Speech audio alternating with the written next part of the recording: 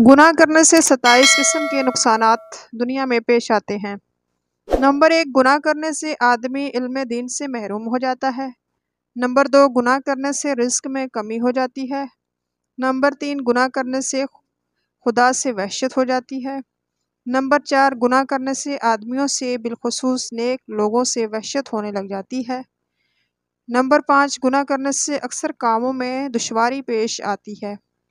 Number چھ، گناہ کرنے سے قلب میں ایک قسم کی تاریکی محسوس ہوتی ہے۔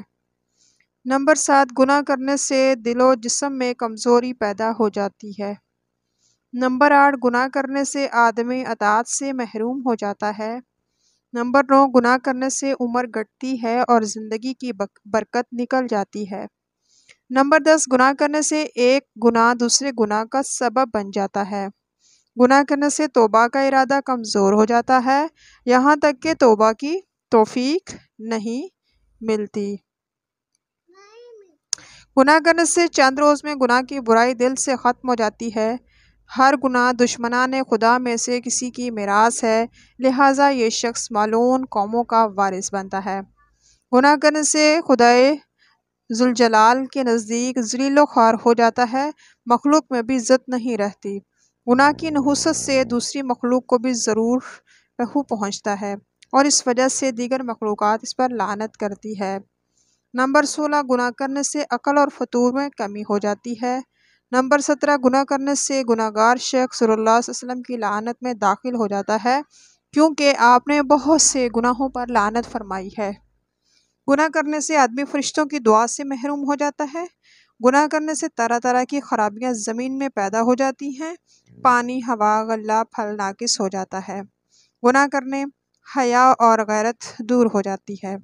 گناہ کرنے سے اللہ کی عظمت دل سے نکل جاتی ہے۔ نعمتیں سلب ہو جاتی ہیں۔ بلاؤں اور مصیبتوں کا ہجوم ہوتا ہے۔